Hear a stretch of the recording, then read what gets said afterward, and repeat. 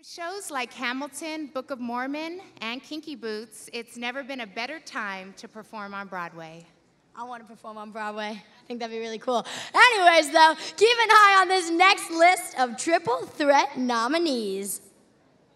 Your nominees for Best Musical Theater, Novelty, Character Performance are When Velma Takes the Stand, Extravagance and Tumble, Alice Won't You Stay a While, Evoke Dance Movement, Broadway Rhythm, Professional Dance Center, Strike That Reverse It, Cutting Edge Dance Center, You Can't Stop the Beat, Le Dance Studio, Jet Set, Karen School of Dance, Sweeney Todd, Infinity Dance, Hairspray, Dancetown Boca, Be Our Guest, Pat School of Dance.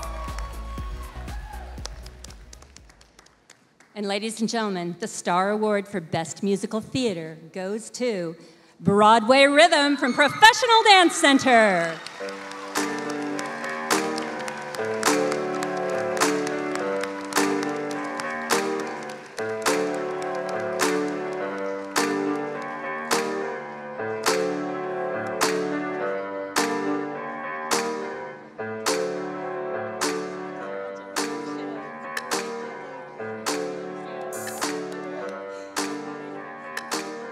Well, first of all, what a gorgeous evening. This is just a beautiful cause and a beautiful event. So, thank you to the Industry Awards for everything that you do for uh, Dancers with Cancer. And thank you to Groove Dance Competition for nominating us. Um, the Professional Dance Center was actually started in 1961 by my mom, and we're all like homegrown, every single teacher we have.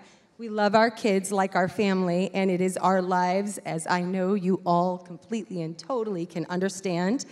Um, I myself am as a, a cancer survivor. I had Hodgkin's disease.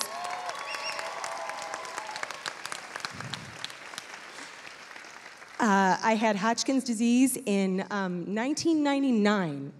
So, so far, so good. Let's all, uh, let's all keep doing it together because I think together we can make a difference. Thank you again.